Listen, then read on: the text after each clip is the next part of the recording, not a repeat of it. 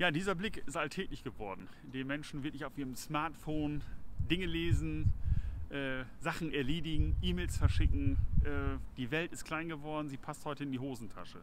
Aber das macht auch was mit einer Gesellschaft.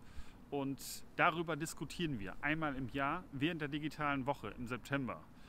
Es hat die zweite digitale Woche dieses Jahr stattgefunden und hier haben wir uns hauptsächlich um das Thema Arbeit und Landwirtschaft dann gekümmert. Aber es gab auch eine Lehrerfortbildung.